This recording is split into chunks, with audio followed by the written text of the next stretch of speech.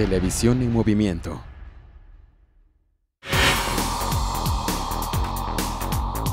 Bien, y este es parte del escenario que tiene el Hospital General Laureano.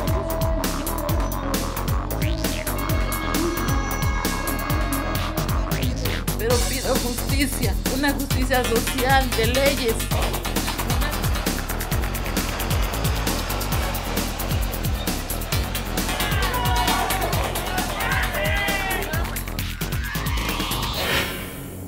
Auditorio, vaya cambio en el clima que tenemos en todo el país, nevadas en Chihuahua, en parte de Aguascalientes, en Oaxaca, eh, vientos intensos que han estado pues causando algunos estragos en la zona de la Mixteca de Oaxaca, Juxtlahuaca, Guajuapan, Tlajiaco. Se ha reportado la suspensión de energía eléctrica, la caída de algunos espectaculares. Aquí en la capital nos reportan hace algunos instantes que un espectacular está a punto de caerse por aquí, por la calle de Belisario Domínguez. Así que pues tenga usted mucha, muchísima precaución. Este es el clima que domina en este momento en el país, pero ¿cuál es el clima que prevalece en el ambiente político de cara a las elecciones del 2016, junio 5 concreta, en concreto? Le recuerdo, vamos a renovar la gobernatura del estado junto con otras 12 entidades del país. Son 42 diputaciones eh, las que también se van a renovar, al igual que 153 presidencias municipales regidas por el sistema de partidos políticos.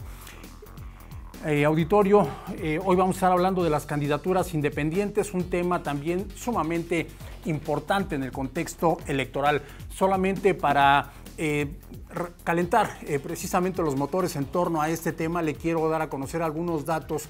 En el año 2012, los tres partidos políticos más grandes en el país pues aprobaron y reconocieron la figura de los candidatos independientes. Dos años después, en el 2014, es cuando ya se sientan las bases para que estas personas, los ciudadanos, puedan participar en la vida política de México, tomar decisiones, por supuesto. Eh, esto sin el aval de ningún partido político, porque hay que recordar que hasta el año 2012 quienes aspiraban a ser presidentes municipales, diputados, senadores, eh, o bien gobernadores tenían que ser avalados por un partido político, por uno de los muchos que hay en este país. Esta es parte de las nuevas formas de participación política electoral que precisamente el año pasado llevan a este hombre, Jaime Rodríguez, conocido como el Bronco, a contender por la gobernatura y ganar la gobernatura del estado de Nuevo León. Eh, las reformas constitucionales en materia político-electoral nos llevan este año 2016 a tener un panorama muy, muy especial. Una cantidad importante de ciudadanos han expresado ya su aspiración a contender precisamente por estos cargos a través de candidaturas independientes. No hay que olvidar que ya le comenté que son 12 las gobernaturas que se renovan en este 2016 en todo el país, entre ellos Oaxaca, que es el tema que estamos precisamente centrando aquí en Espacio Ciudadano. Estas elecciones, pues se le ha llamado prácticamente las elecciones de los candidatos independientes. ¿Cuál es el panorama que tienen estos hombres y mujeres que aspiran a estos eh, puestos de elección popular? ¿Cuáles son los requisitos que marcan las, las instancias correspondientes para que puedan obtener su registro? ¿Qué tan fácil es para un ciudadano aspirar a estas candidaturas independientes? ¿Qué requisitos hay que reunir? Bueno, pues hoy lo vamos a estar platicando precisamente con tres hombres que aspiran a estos cargos. Voy a darle primeramente la más cordial bienvenida al arquitecto Lázaro García Saavedra, candidato independiente a la presidencia municipal por Oaxaca de Juárez. Eh, arquitecto, bienvenido. Gracias por aceptar esta invitación. Muchas gracias, Juan. Muchas gracias al auditorio que nos hace el favor de distinguirnos con su preferencia. Y aquí estamos para dar la cara a la ciudadanía y explicarle. Y solamente quiero acotar la introducción. Hasta este momento, al menos eh, Luis y yo somos aspirantes, no tenemos todavía el título de candidato. De candidatos, exacto. Bueno, también nos acompaña Juan Manuel García, candidato independiente a la gobernatura del estado de Oaxaca. Bienvenido, Juan Manuel, un gusto saludarte. Muchas gracias, Juan Antonio, muchas gracias al auditorio. Sin duda, para nosotros es una gran oportunidad el día de hoy, a través de este importante medio de comunicación en nuestra entidad, de poder abordar este tema de candidaturas independientes que sin duda en este año electoral en Oaxaca va a ser gran historia. Por supuesto que sí. Y también saludo con el mismo gusto a Luis Manzano, precandidato a una diputación por el distrito, distrito 13 con sede en Oaxaca de Juárez, Santa Cruz Amilpas y Santa María Zompa. Gracias, muy amable Juan Antonio. Eh, les agradezco a todo el auditorio por esta oportunidad tan importante y bueno, les envío un cordial saludo al arquitecto Lázaro y al licenciado Juan Manuel.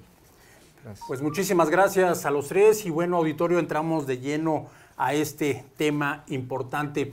Pues en el 2012 los PRI, PAN, PRD deciden, le dan la oportunidad a hombres que no figuran en estos organismos políticos de participar en la vida política. Uno de los derechos que tenemos es de votar y ser votado pero eh, a los ciudadanos solamente y a los que no figurábamos en partidos políticos se nos da únicamente la oportunidad de acudir a las urnas, de expresar nuestro punto de vista, nuestra decisión el día de, las elecciones. Hoy las cosas han cambiado. En este año 2016 las cosas son distintas para Oaxaca.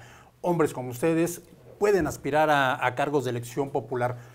¿Qué tan complicado se les ha presentado este panorama o qué tan fácil se les ha dado eh, poder registrarse ante el Instituto Estatal de Electoral y Participación Ciudadana de Oaxaca. Luis. Sí, eh, gracias.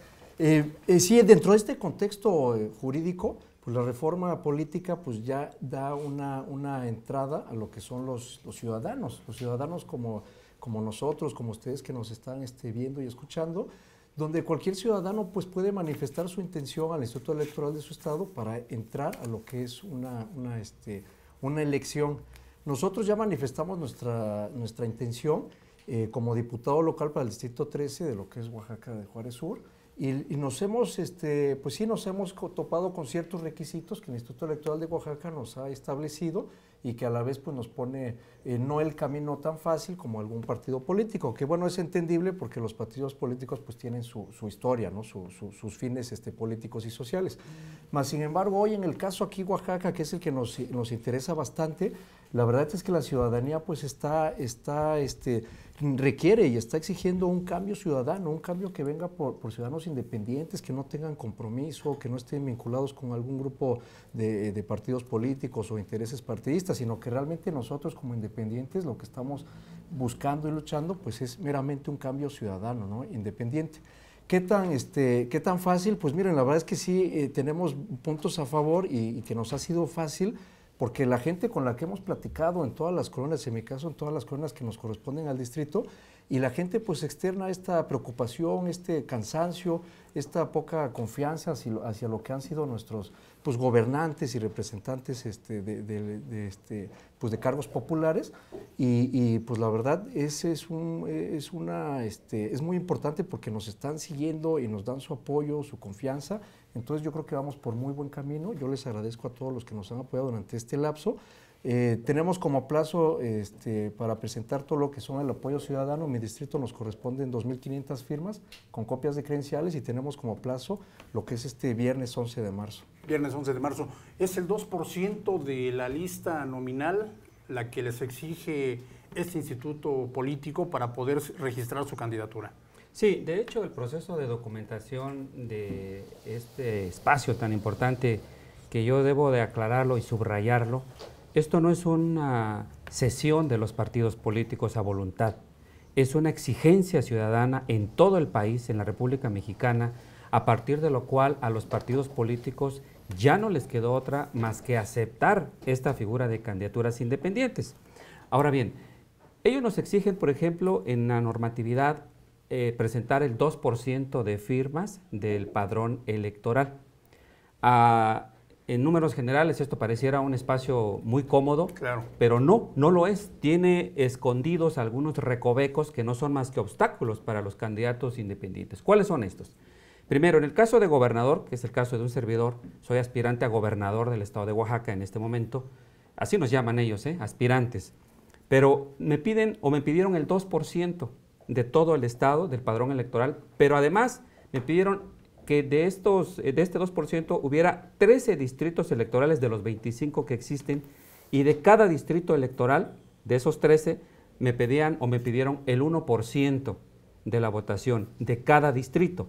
En suma, ya el gran total tendría que ser el 2%. En mi caso particular, yo logré reunir 8.140 firmas más que las 54 mil que nos pide el Instituto Electoral en Oaxaca.